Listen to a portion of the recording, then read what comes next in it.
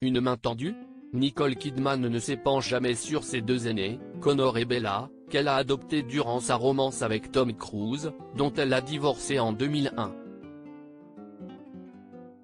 Pourtant, la vedette de Big Little Lies s'apprête à recevoir l'une des plus hautes distinctions du showbiz, à savoir le Happy Life Achievement Award, une récompense pour sa contribution à l'enrichissement de la culture américaine par le biais du cinéma et de la télévision, et aimerait partager ce moment riche en émotions avec ses deux premiers enfants, comme l'a rapporté le média New Idea lundi 5 juin.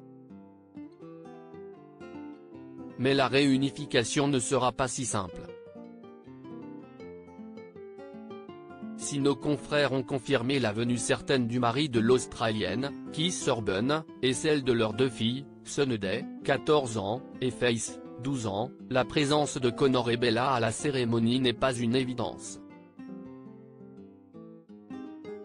Nicole sait que Connor est extrêmement loyal envers son père et elle ne s'attend donc pas à ce qu'il vienne, mais l'invitation est là pour eux deux de toute façon, a expliqué une source à nos confrères. Idem pour Bella, partie s'installer à Londres avec son mari Max Parker et qui a décidé de prendre ses distances pour éviter le style de vie hollywoodien et ne serait pas pressé de le réintégrer, comme l'a rapporté la visée. Et de conclure, Nicole essaie de limiter ses attentes, mais s'accroche à l'espoir que Bella puisse venir.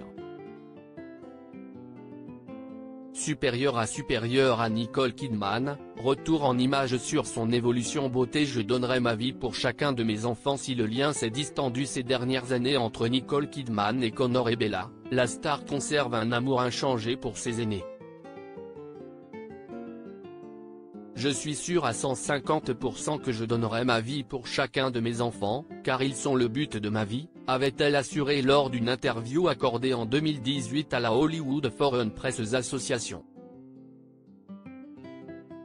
La mère de famille a également choisi de respecter le choix de ces deux grands concernant leur pratique de la scientologie, à l'image de leur illustre père, ils ont fait leur choix d'être scientologues, et en tant que mère, c'est mon travail de les aimer.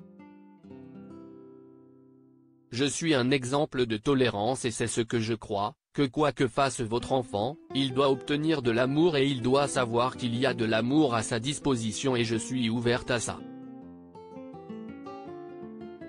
Article écrit en collaboration avec 6 médias Crédit Photo, Bac Gris du SA.